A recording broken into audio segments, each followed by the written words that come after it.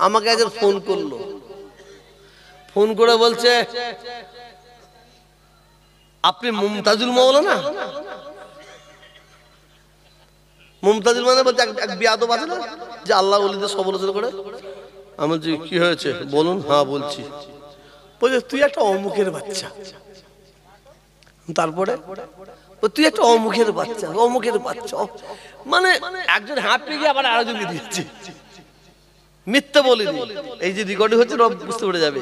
এত বুঝতে আবার একজনকে দিয়েছে। পাঁচ সাতজন মিলে মুমতাজুলের কিছু রাখে নে কিস্তি পেরে পেরে পেরে পেরে পেরে। তুই যদি বস তুই আমার দাদা হুজুর শেষে অনেক কথা বলেছিস অমুকের বাচ্চা। তোর মায়ের অমুক। তুই বস তুই বাস কর। আমি বস আমি পুরো মমতাজ সেজেছি আমি বস কিন্তু আমার সঙ্গে বাস করতে গেলে তোদের তহা হুজুরকে নিয়ে আসবি। আমি তুই নিয়ে বস না দেখি। বলি কিস্তি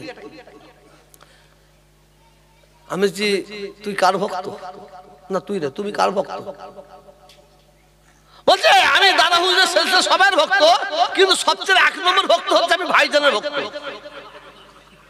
হ্যাঁ। তারপরে ভক্ত বলেন তহা হুজুর ভক্ত? অনেক শুনে নিয়ে আমি বলছি এই আমি তহা হুজুর বলছি। "হ্যাঁ, হুজুর হ্যাঁ তোরা মানুষ না জানোয়ার। তোদের বাপ তোদের ওরা জন্ম দিয়েছে মানুষ হিসাবে মা পেটে ধরেছে মানুষ হিসাবে। তোরা বাইরে এসে পশু হয়ে গেলি? বাপ জন্ম দিয়েছে মানুষ হিসাবে মা ধরে পেটে ধরেছে মানুষ হিসাবে কিন্তু তোরা তো বাইরে ঘনিষ্ঠ হওয়ার পরে পশু হয়ে গেছিস মমতাজুল ফুরফুরা শরীফের আল্লাহর ওলিদের নিয়ে সমালোচনা করেছে, ঠিক আছে? তার ওষুধ অন্যভাবে আছে তো। তো কোন জায়গা থেকে খিস্তি পেরে ওষুধ দিতে বলছে? হ্যাঁ? তো মমতাজুল বাহাস করে বলেছে, আমি তো বলেছি তোরা যদি মায়ের দুধ খেয়ে থাকিস, তোদের যদি জন্মের ঠিক থাকে, বস আর আমরা যদি মায়ের, আমাদের যে জন্ম ঠিক থাকে, মায়ের দুধ খেতে আমরা বসে আই দেখি, সতেরো বার বাহাস করেছে। দাদা হুজুর থেকে কতবার বললাম খুঁজছে তো। তোদের নিয়ে করছে। ওদের মিথ্যাবাদ, কাজ্জাব, ঝুটা তোরা তোরা তো ওদের চোরে খারাপ অজ করতে কথা বলছে, ফুরফুরা শরীরে সেরে হয় দাদা হুজুরের মাঝে সেরে হয় ফুল চড়ে, সেজদা দেয়। হ্যাঁ? দাদা হুজুর বলে নাই, দাদা হুজুরের সেলসার যত জায়গা আছে, পুরো কর্মস্থলে সেরে হয় বলছে, বলতে দে। ও চোখ বন্ধ করে অন্ধ করে দেখছে, কি বলব? আসুন।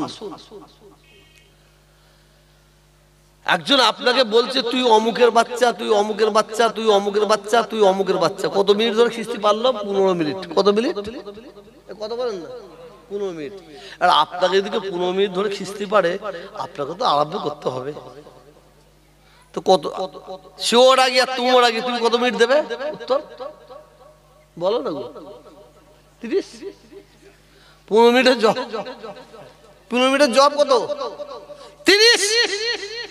যাই সে রুয়াই সেই ফেরেস্তা কিন্তু না, সে যদি পনেরো মিনিট ধরে তোমায় খিস্তি পারে, তোমার পেটে যদি বিদ্যে থাকতো, শিক্ষা থাকতো, তুমি সত্যিকার যদি মানুষ হতে, ওকে শুধু একটা কথা বলো, তুই তো আমার ভাই।